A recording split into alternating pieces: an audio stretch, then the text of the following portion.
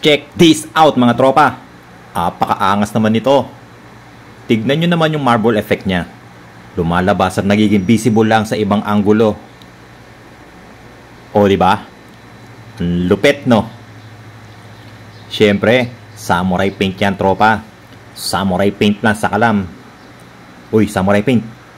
Beke ni men. Watch mo buong video para makakuha ka ng idea kung papaano at anong kulay ang mga ginamit natin dito. Alright? Time. Ito yung pipinturahan natin mga tropa. Meron ako ditong NMAX version 1 na side cover. So tapos ko nang applyan ng Surfacer UC-H210 bago tayo nag-apply ng primer gray. Nagliha muna tayo. Number 800 wet sanding. Okay? Dahil repainted na yan, Surfacer ang ginamit natin. At ito yung gagamitin natin. Meron ako ditong dalawang silver mga tropa. Dalawang kulay ng silver to. Meron ako ditong silver 3124 at meron tayo ditong sparkling silver na 391701. So, iyan yung gagamitin natin. Parehas na silver yan. Ang pagkakaiba lang, yung isa light, yung isa medyo dark. So, iyan yung gagamitin natin. And after natin makagawa ng marble effect, gagamitan natin ng candy block yan. So, tara tropa. Puguhan na muna natin to ng silver.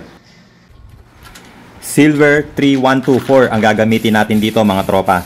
So, ito yung pinaka base color niya, ano?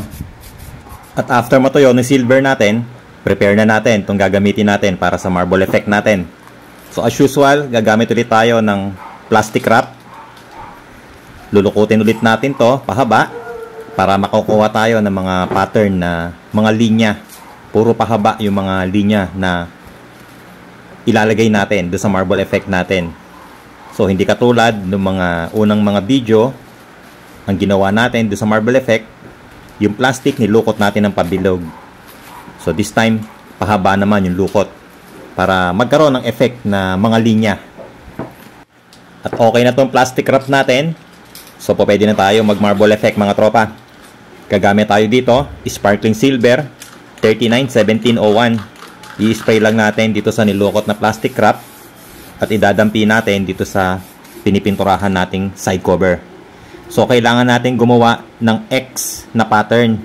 So, kung mapapansin nyo, no, pa-diagonal, yung ginawa ko. At after nyan, kabilang posisyon naman. Ibig sabihin, kabilang diagonal pattern naman para makagawa tayo ng mga pa-X na pattern. Yung mga linya na lalabas, magkakasalubong para siyang pa-X. So, pupunuin natin to mga tropa. At uh, pagpuno na, checkin natin kung okay na siya. Kung meron tayong mga na-miss na part, pa pwedeng balikan paunti-unti para mas maganda siyang tignan. So, ganun lang mga tropa.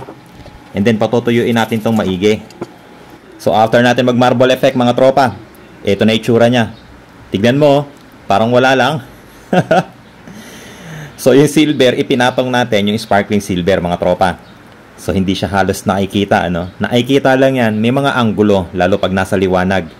So yung mga naka-silver diyan, papeding after nito, top coat clear na agad kayo.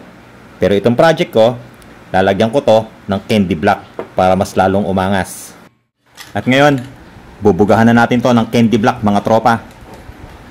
Candy black CD111 ang gamit nating samurai paint mga tropa. So, yan yung code ng Candy Black.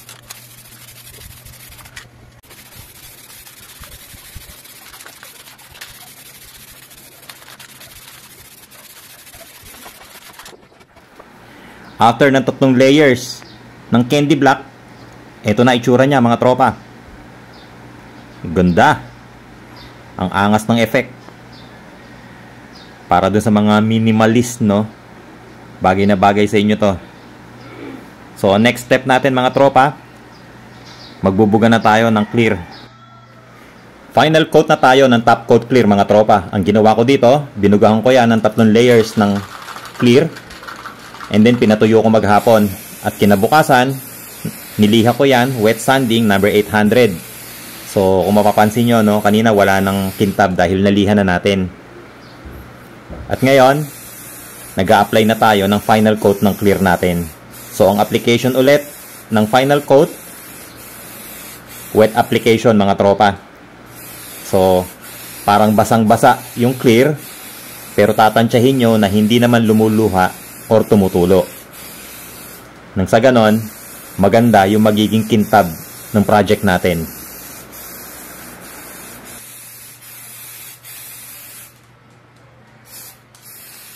Alright mga tropa, tapos na itong project natin. Meron na tayong marble effect na candy block. Tatlong kulay ang ginamit natin dito mga tropa. Uulitin ko, gumamit tayo.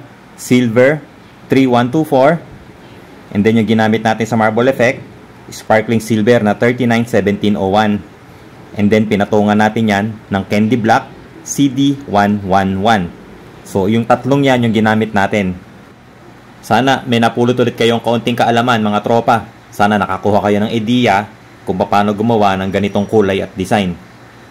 So, paano? Kita-kits ulit next video mga tropa. Maraming salamat. Ride safe palagi. Peace!